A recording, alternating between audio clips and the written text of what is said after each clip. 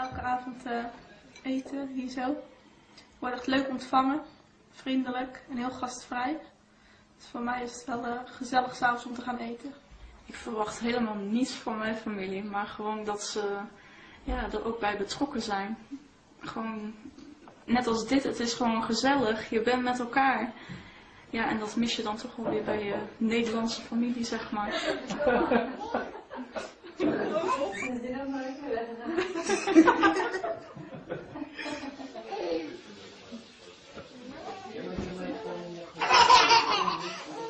Ja, we krijgen iedere avond krijgen we eten.